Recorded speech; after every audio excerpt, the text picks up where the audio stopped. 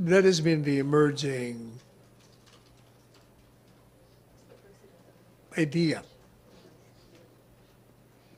Emerging idea on this one. among amongst people that it should there should be a Duterte Duterte tandem in the next presidential elections. Yes.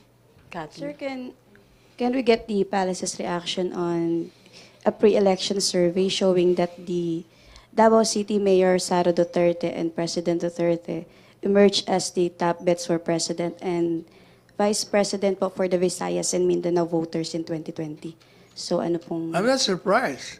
That has been done before in the city of Davao when both of them run as mayor and vice mayor.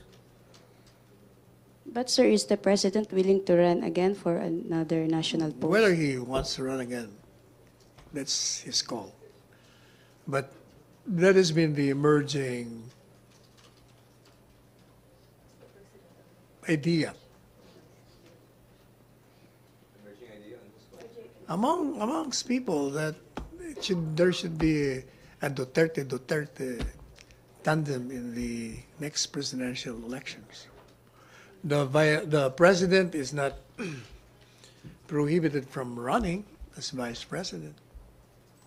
Pero sir, the- is the president aware of this uh, Duterte Duterte tandem for 2020 elections? I told him last night, and he smiled.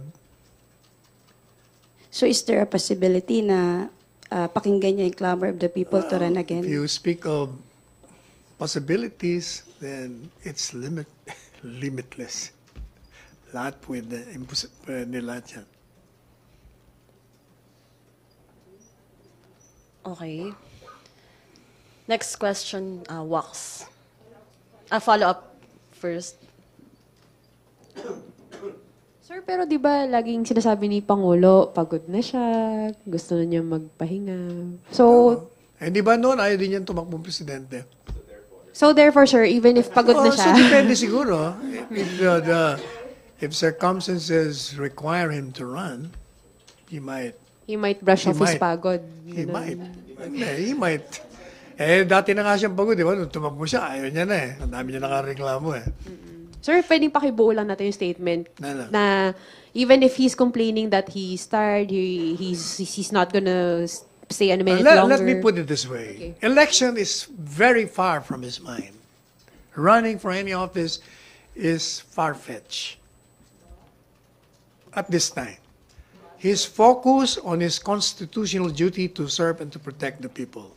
Until the day of his term, he will do it with passion, with dedication, and no force on earth or organizations or persons can stop or impede him from doing such tasks assigned to him by the Constitution.